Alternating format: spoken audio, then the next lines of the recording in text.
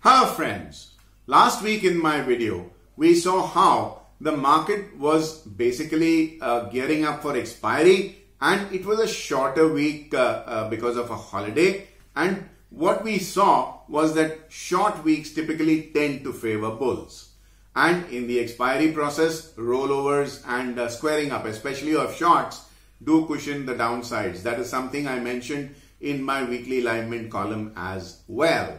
Now is the new year, especially January, going to be as rewarding to the bulls as December has been? Because what we see in the month of December were spectacular returns uh, as far as uh, the Nifty and the Bank Nifty are concerned. So the Nifty gained 7.94% and the Bank Nifty gained 8.57%.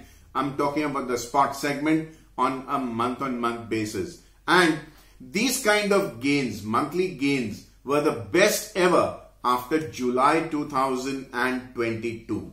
Now that means you're uh, seeing the biggest one month rally after one and a half years.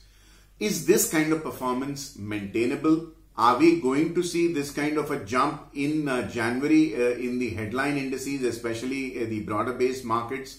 I want to discuss that in this video. In addition to our weekly uh, uh, studies as well. Now friends, what I have seen over the last uh, couple of decades and I've been trading these markets since 1986. FIIs of course came in the 1990s. What we have seen as, and this is my personal uh, uh, viewpoint, you may feel free to differ with it of course. What I have seen is that local investors come brokers tend to warehouse means stock up shares that they feel FIIs would be interested in buying in the coming year. FIIs typically and more so now in 2023 are expected to raise their allocation means the amount segregated for investment into India. They are expected to raise their investments in India in 2024. So they stick to quality stocks, they stick to highly liquid stocks and they tend to stick with industry leaders and frontline companies. That that's not very difficult to guess. So uh, uh, typically local investors and brokers tend to warehouse or garner corner these shares in anticipation of selling to the FIIs at higher prices. But the FIIs are smart. They've adapted. They've smelt which way the winds are blowing. So what they do is they come in the month of January, in the first week of January, and they'll announce to you that our allocation to India is indeed going to be higher. But that does not mean that they start buying from 1st of January itself. They could buy from Feb, they could buy from June, they could buy from July, whenever. The allocation is raised, but it's not time bound. It is raised for the entire calendar year. So what the FIIs tend to do is basically tire out the local bulls by holding back their investments uh, decision. And what really happens is that people who've got greedy and warehouse these stocks, they have to pay a cost of carry. There is cost of money called interest. There's mark to market, there's rollover cost, etc. And these beginning to wear out a, a, a short term weak hand. And the weak hands invariably tend to surrender uh, their positions and in first uh, signs of duress. So in January, I do expect that the rally that you saw in December of 7.5 and 8.5% in the indices may be fairly difficult to achieve. Overall, yes, the month might be bullish, but should you expect uh, easy money on uh, your long positions? I think uh, uh that would be stretching it a little too much. Friends, the uh, uh, uh, contentious issue of uh, January's outlook as compared to December out of the way. Let's now go back to our usual uh, game plan and uh, coming up on your screen is the weekly market roundup window. What you are seeing is the broader based Nifty 50 has led the way forward and gained more than the bank Nifty. The US dollar index has fallen 33 basis points yet again and uh, that basically has been positive for emerging markets including India. It also boosted gold prices but uh, silver uh, witnessed some amount of profit taking at higher levels. Oil and gas fell. I have been telling you that I don't subscribe to the uh, uh, uh, super cycle theory in commodities and there you are, higher levels are encountering selling pressure. The uh, USD INR, which is the uh, dollar versus the rupee, gained 9 basis points. That tells you that the rupee weakened against the dollar a little bit and the Indian 10-year benchmark bond yield fell 1 basis point which means bond prices rose very very marginally and that was positive for bank nifty. MWPL or market wide positions limits came down by 9.37 uh, uh, that that's routine because we saw expiry of December series. US uh, uh, headline indices rose but uh, the gains were not really very spectacular but they did provide tailwinds to our domestic markets. Friends, the weekly market roundup done. I now come to our in-house indicators. I begin with market-wide position limits or MWPL. Now, MWPL is the extent of positions utilized by uh, traders as compared to uh, what is allowed by SEBI. Now, what we've seen is that MWPL peaked out at 39.01 in the December uh, uh, derivative series and that was lower than uh, uh the November high of 39.38. Fair enough, um, it was a holiday season so we can grant it a little bit of leeway. Now what you're seeing is the uh, post-expiry low at 29.63 is still higher than uh, uh, November's uh, post-expiry low of 29.36. That means uh, by and large, bulls are still holding on to their positions rather than squaring them up in uh, very large numbers on expiry days. So risk appetite, I would say, still remains present in the market. It's steady I don't see any signs of panic. Now for the turnover in the index and stock futures, remember these are three concurrent series, so it is uh, January, February and March. What you are seeing in spite of the rollover, which should have seen higher turnover because you square up in December, you roll over the position in January, so double turnover is logged. But in spite of that, turnover in the index futures has fallen. In the stock futures, it has risen. The fact that uh, people are rolling over less of index futures and uh, more of stock futures in a way is telling you that they are going in for higher risk appetite uh, uh instruments because uh, stock futures are more volatile. But I would have preferred index uh, futures turnover also to rise. So this is one aspect I would watch. Now friends, for the advanced decline ratio, which after the price itself is the most leading indicator and uh, it tells you which way the winds are blowing. In spite of the fact that the Nifty ended the week with 1.79% gains as compared to little over half percent loss in the prior week, the advanced decline ratio actually eased a little bit at 1.13. That means for every 100 losers, there were only 113 gainers as compared to 147 gainers in the prior week. But like I said, it was a holiday uh, uh, shortened week due to Christmas and New Year. So let's give it a benefit of the doubt and uh, watch the advanced decline ratio keenly. I put it up on my social media accounts late at night every day. Friends, I now come to the prompt month futures basis of the Nifty and the Bank Nifty. Now basis is nothing but the premium or discount enjoyed uh, by the futures over spot. What I'm seeing is that the bank nifty basis is the highest in the 20 weeks covered by this chart and so is the bank nifty and nifty's basis. Bank nifty basis at 336 and nifty basis at 155. I'm not seeing these levels for many many quarters. That means that traders have actually paid 336 rupees premium in the future compared to spot for Bank Nifty and almost 155 rupees premium on futures compared to spot for the Nifty 50. Can this big basis uh, uh, basically continue? I think it will not. Like options uh, uh, premium, the closer you get to expiry, the smaller is the premium because it is a decaying asset I do expect the basis to come down fairly quickly in the coming week itself. But as long as the basis remains positive, which means the futures premium is uh, uh, positive and futures are trading above spot, bulls still have a fighting chance and they are still in control. Friends, I now come to our in-house uh, indicator, which you've trusted for almost three years now. Our impetus indicator you won't find anywhere else on the internet. And what you are seeing is that the gains in both the indices was accompanied by rising impetus readings, which means the rally was forceful, it was on higher momentum, and that if it follows up in the coming week, should see indices going up for higher levels. I put up the impetus levels on our social media accounts every night, so do connect with me there. Friends, I now come to the LWTD indicator for which I have received a lot of uh, affection and warm words from my online family. Thank you very much. And uh, this exclusive indicator tells me that uh, uh, uh the Nifty having logged 1.79% gains, it was accompanied by LWTD, which is the highest in the 20 week period chart.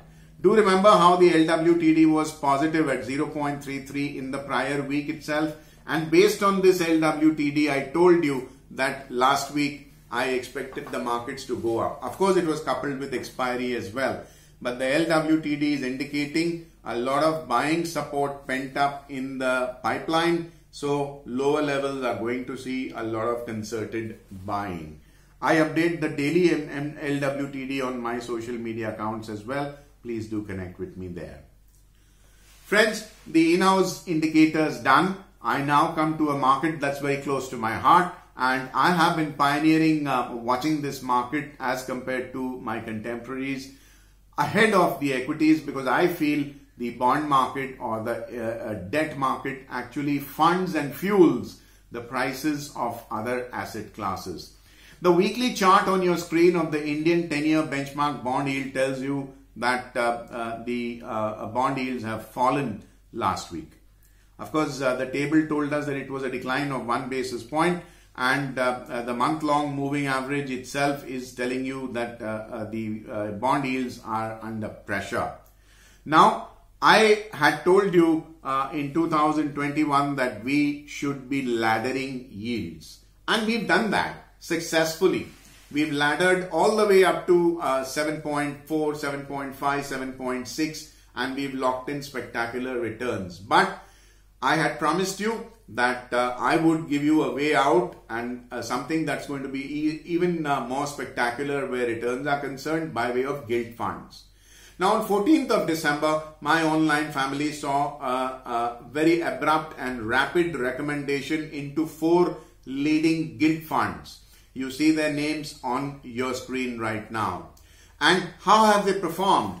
Look at the way they performed from uh, uh, the date of recommendation. By the way, they have never seen a negative weekly close ever since I recommended these gilt funds. So it's been three weekends and you've seen week on week gains. So this is uh, uh, the kind of work that we do with our in-house uh, statistical and behavioral trading models, IBEX and Barracuda respectively. So we are basically uh, building the best uh, uh, complete trading models which will look after equities, commodities, currencies and even the debt market. So I'm not done yet. Just when you think that uh, uh, deploying in these gilt funds is the be all and end all of the fixed income story, sorry, there are lots more aces up my sleeve. And I'll be sharing these on uh, uh, my uh, free telegram channel. Do connect with me. My contact coordinates come at the fag end of this video. Friends the bond market's done. I now come to the bank nifty. And as you can see on the daily chart on your screen this uh, uh, bank nifty uh, index rose 1.69% on a weekly basis and gained on 3 out of 4 trading sessions last week the price is above its month-long moving average, which itself is turning upwards, which means the short-term outlook remains positive. Since a fortnight or more, I've been telling you about the throw over and throw under concept on the Nifty, I mean the Bank Nifty wedge formation, how the prices went below the wedge as a throw under and I told you they would be followed by a throw over means exceeding the high of the wedge formation trend line. There it did. It consolidated just as I told you it would and now there appears to be an attempt to break out above this. All in all, it is a promising picture. Now, the uh, weekly chart on your screen tells you that the price has closed again higher than the bullish wedge formation uh, top uh, trend line. It's also above the 25 week exponential moving average, which is a six month long holding on cost of an average bull, which tells me that even the medium term outlook is positive for now. Friends, in the week before last, uh, this index, Bank Nifty index, was at number three on the most volatile counters list based on the statistical beta ranking that we maintain in-house and uh, it slipped one notch to number four. And uh, that does not tell you that uh, the volatility of the bank nifty has come down. Rather, the relative volatility of the stock futures has gone up, which uh, uh, has uh, seen the ranking of bank nifty come down. It's still uh, going to be fairly challenging for a retail trader to trade this index. Last week, I advocated an estimated range between 48,675 on the upside and 46,300 on the downside. It held wonderfully well to the extent that the high of uh, uh, the week was 48,636, just 39 points below the uh, estimated resistance. In the coming week, I expect the estimated range between 49,475 on the upside and 47,125 on the downside. Friends, I would uh, uh, suggest you still uh, refer to our daily, weekly and monthly uh, index pivot levels, commodity pivot levels for uh, gaining a better advantage over the others where intraday, swing trades and even buy and hold trades are concerned. They are on our free telegram channel. Make use of this feature please. Friends, the bank nifty done. I now come to the nifty 50 which gained 1.79% on a weekly basis and it gained on 3 out of 4 trading sessions just as the bank nifty did. The price is above its month-long moving average as you can see on the daily chart on your screen and the moving average itself is trending higher. So that means the uh, uh, short-term outlook is positive for now. Last week I advocated a Fibonacci level of 21,450 as a level to watch and we've basically been monitoring this level since a fortnight or so. We've overcome this uh, uh, uh, Fibonacci resistance level. So now in the absolute near term, it will become a de facto support level. The weekly chart on your screen tells you that the price is above the uh, Fibonacci uh, uh, short-term Fibonacci ruler level of 261.8 at 21,450 and the long-term Fibonacci ruler is now at uh, 22,200 where its 261.8% uh, uh, extension is concerned. Now this level is something I told you even uh, last week as a, a, potential target in the coming few weeks. Since the price is uh, significantly higher than the 25 week exponential moving average, there could be a possibility of a routine correction. I'm using the word routine correction. That should be noted and kept in mind as well. Friends, in the week before last, this index was number 10 on our most volatile counters list as per the statistical beta ranking we maintain in-house. It uh, rose one notch to number 9, which means uh, uh, the volatility went up and so can uh, the challenge level for a retail investor. Last week, I advocated an estimated range between 21,800 on the upside and 20,900 on the downside. And look at where the spot Nifty has uh, uh, fallen from 21,801 level, just one point away from IBEX's estimated resistance level. So I'm very pleased to tell you that we are more than nine times right out of 10 where uh, these weekly ranges are concerned and the process of fine tuning our in-house statistical model still continues. It can only get better with time. The coming week, I estimate a range between 22,175 on the upside and 21,300 on the downside. Please do continue to watch our daily, weekly and monthly pivot levels which are on our free telegram channel. It will definitely give you an edge over other traders. Friends, before we move forward, I come to the last bit of derivative analysis, statistical analysis based on the uh, turnover by uh, retail traders in uh, the four uh, segments of the derivative market. Coming up on your screen is uh, the weekly chart of this uh, constituents turnover. What you are seeing is in the futures segment, the index futures contributed 4 basis points more in terms of turnover footprint, which is given as a blue line. The stock futures turnover was higher by 25 basis points. It's shown as a red line. Now futures require higher margin and more volatile than options and they also require mark to market. The fact that futures turnover is higher tells you risk appetite was higher but futures turnover is also higher because of expiry because people uh, uh, square up in December and reinitiate the positions in Jan. But the fact that their turnover is higher that means they're rolling over more which also means that uh, risk appetite is good. Now let's see what happened in the option segment. In the lowest risk options of index uh, uh, type, the derivative turnover contribution fell by 0.30%. And there was a one basis point increase in stock options turnover, which is shown as a purple line. Net net, I would say that risk appetite has actually remained firm. It has remained cheerful. And as long as follow up buying comes, the market should uh, favor the bulls more. Do remember I told you two points.